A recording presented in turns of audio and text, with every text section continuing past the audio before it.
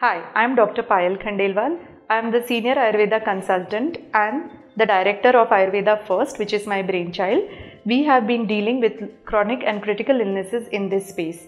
My clinic is situated in Siddhapura, Whitefield, Bangalore. Per rectal administration of drug, that is Basti, is one of the specialities of Ayurveda. It is also one of the five biocleansing procedures which are used to detox the body. Now, Basti has a very important role and it helps in curative, preventive, health promotive, and also regenerative action in the body.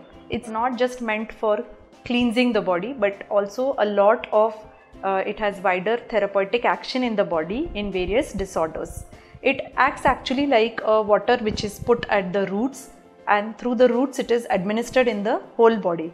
Similarly, in Basti also, it is given through the per rectal administration but its absorption takes place through the various barriers in the body and help treating various chronic diseases in the body. It is called as Ardha Chikitsa in Ayurveda because it controls Vata which is present in the colon and which also affects the entire body.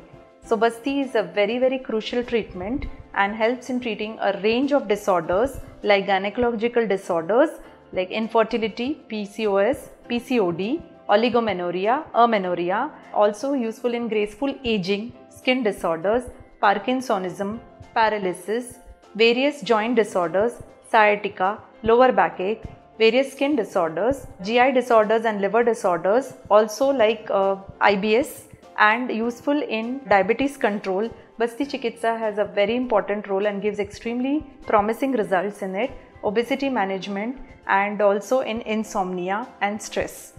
So these are some of the examples where we can use Basti but Basti has a wider application and a wider therapeutic action because it gets absorbed through the per rectal route.